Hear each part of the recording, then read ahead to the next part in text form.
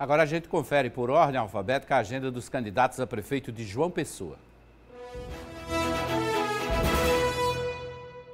O candidato do Progressistas, Cícero Lucena, à tarde visita a ONG Ação Mão Amiga, faz caminhada no Valentina pela comunidade Frei Damião e participa de entrevista em emissora de TV. À noite tem reunião com apoiadores e participa de evento em comemoração ao Dia do Médico. O candidato do Partido Liberal, Marcelo Queiroga, à tarde faz caminhada em bairro da Zona Norte. À noite, participa de evento em comemoração ao Dia do Médico.